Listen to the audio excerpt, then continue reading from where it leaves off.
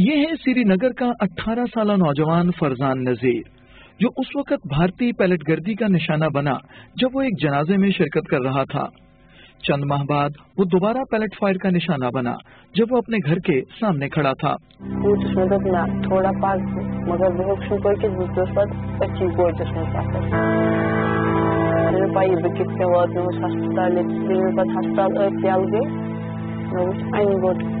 दान पे सारे खोल पत यु मे पैलेट आय मे गो मतलब मे लोग शौक पन्ने जाए यह क्या गो मे गो पी पैलेट वैलेट क्या गो मतलब ना अतन नबर वन चा सारे खो वन मतलब बेहान नबर वन बेहान तमिस दपान क्या पता वह अगर अस लगान अस मा सोचे पे आज गोस बह पगह ग ब्या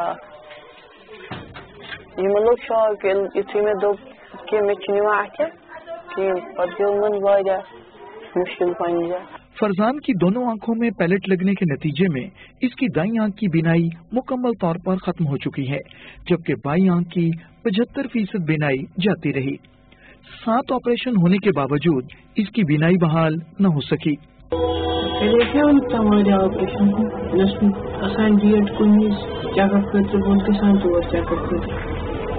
ऑपरेशन कि गाश बदकिस्मती से फरजान की बिनाई मुतासर होने के बाद उसके वालिद का इंतकाल हो गया और उसे मजबूरन अपने वालिद की दुकान पर बैठना पड़ा। मगर नज़र की कमज़ोरी के बायस उसे हिसाब किताब करने में शदीद दुश्वारी पेश है।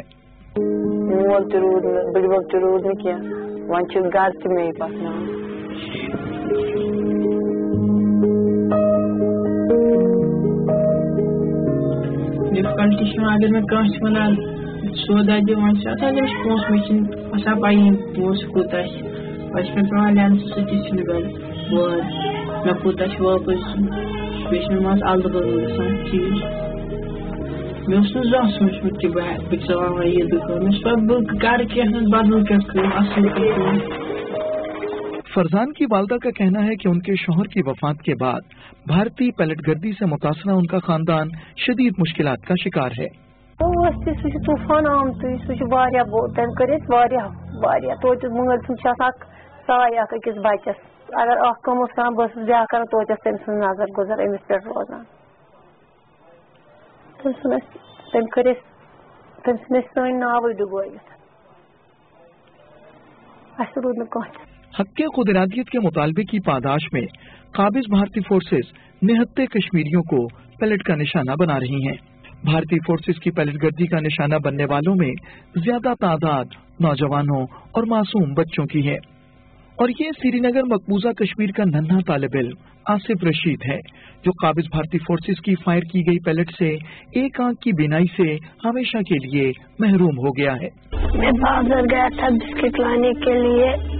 सारे दुकान बंद थे। हम तीन लड़के वहाँ गए थे बिस्किट लाने के लिए। हम वहाँ पे वेट करते थे। वहाँ से पुलिस गाड़ी की दो आ गई। उन्होंने पीछे धुआँ फेंका और बड़ों ने पत्थर फेंके और हम छोटों पे पैलेट फेंका। फिर हम वहाँ गिर गए।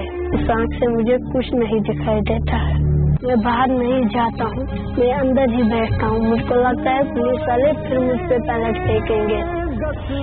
बाहर नहीं जाता हूँ मकबूजा जम्मू और कश्मीर दुनिया का वाहिद बदनसीब खत्ता है, जहाँ मोहलिक हथियार, पैलेट गन का बेदरेग इस्तेमाल जारी है पूरी दुनिया में कहीं ये मिसाल नहीं मिलती कि निहत्ते सिविलियन अफराद पर इंतहाई खतरनाक पैलेट गन्स का इस्तेमाल किया गया हो